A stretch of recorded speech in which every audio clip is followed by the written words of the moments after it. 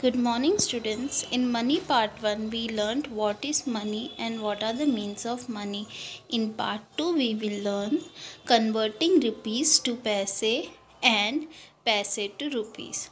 So let us see how to convert the rupees to paise and paise to rupees. Here is the question which says that convert rupees 64 to paise so here rupees 64 is there and you have to convert this into paise. So students as we know that 1 rupees is, is equal to 100 paise. So here it is 64 rupees. So we have to multiply 64 by 100.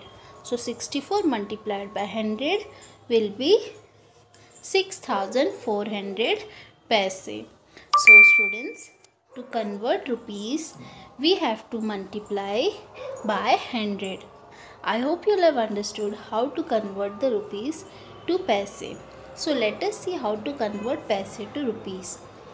Convert 265 paise into rupees. We have to convert this paise to rupees. So as we know that 100 paise makes 1 rupees. Therefore there are in this question there are 200 paise plus 65 paise. When you distribute like this you will understand that we have here 2 rupees and 65 paise.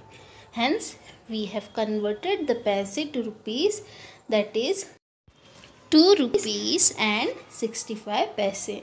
So while converting paise to rupees you have to distribute the amount in 100 and in paise. So when you distribute them you will convert to rupees. So I hope you all have understood how to convert the rupees into paise and paise into rupees.